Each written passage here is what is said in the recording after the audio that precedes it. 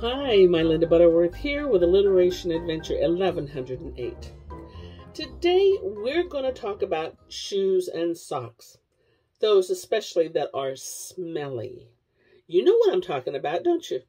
And if you are a sister who has to pick up the laundry and take it down, sometimes those brother socks are really bad, especially if they've been playing ball.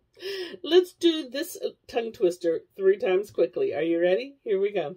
Smelly shoes and socks, shock sisters. Smelly shoes and socks, shock sisters. Smelly shoes and socks, shock sisters. That was fun, right? Kind of stumbled a little bit there at the end. Mm-hmm, me too. Had to practice a lot. Let's do it again, just a little slower.